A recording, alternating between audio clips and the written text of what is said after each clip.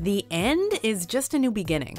Welcome to WatchMojo, and today we're counting down our picks for the top 10 Marvel storylines the MCU should do after Endgame.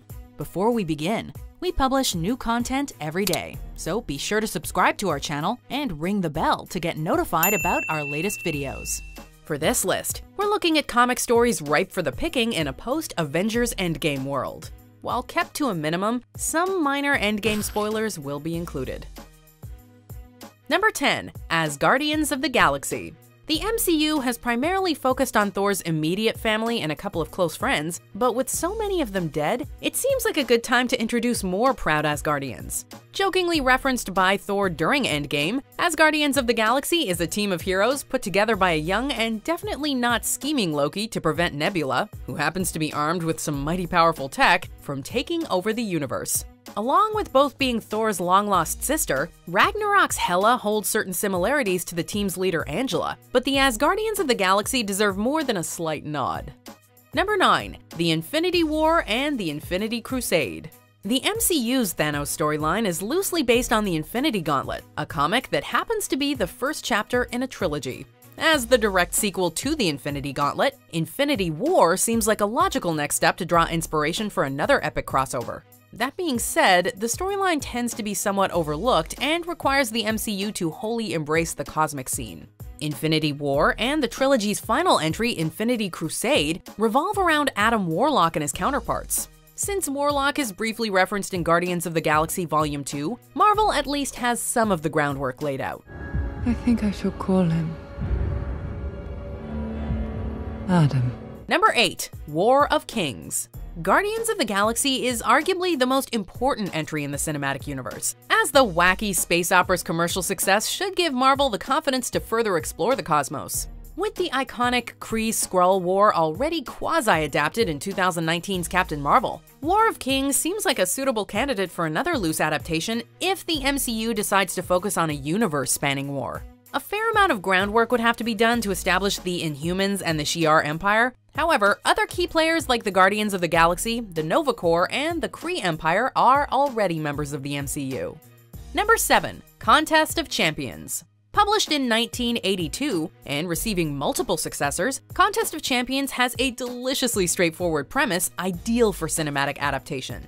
24 of Earth's mightiest heroes are split into two teams and forced to participate in a contest by the Grandmaster and Lady Death with the planet being placed in stasis until the tournament's conclusion. While fun, hero versus hero storylines often require characters to act like idiots to move the plot forward. Conveniently, Contest of Champions comes packaged with a reasonable excuse to pit Black Panther against Spider-Man. Disney's acquisition of Fox means the MCU has more than enough heroes at its disposal to organize a contest. On top of that, a lot of the groundwork has been laid by Thor Ragnarok introducing a toned down version of the contest, and of course, the Grandmaster. Number 6. Avengers vs. X-Men Even though Marvel has already warned to not expect Wolverine and company to show up anytime soon, the X-Men are destined to join the MCU eventually. Normally, the Avengers and Professor Xavier's mutants are on the same side, but there have been instances where the heroic teams have not seen eye to eye. Most recently, 2012's Avengers vs. X-Men saw the two teams fight over what to do about the return of the Phoenix Force to Earth, resulting in some pretty epic moments. While they probably wouldn't follow the storyline beat for beat, that may not be a bad thing since the comic itself is somewhat divisive among fans. At one point or another, the Avengers and the X-Men are going to cross paths, and when they do, chances are they will probably throw down. Number 5. The Korvac Saga Marvel's greatest post-Endgame challenge is finding a villain capable of surpassing Thanos, not only in terms of power, but also intrigue. A few names spring to mind. However, Korvac should be at the top of the list. Generally remembered as one of the best events in Marvel's history, the saga is self-contained enough to work without requiring the introduction of too many secondary characters. The Korvac saga also presents the perfect opportunity to push to the forefront the original Guardians of the Galaxy members, who travel back in time to apprehend the enigmatic antagonist. Number 4. Annihilation Marvel's best bet at surpassing the grandiosity of Endgame is to concentrate on its cosmic events. Out of all the potential candidates, few can match Annihilation in terms of epicness. Taking place almost exclusively in space, Annihilation is named after its central villain Annihilus, who unleashes a powerful army capable of wiping out all known life in the universe.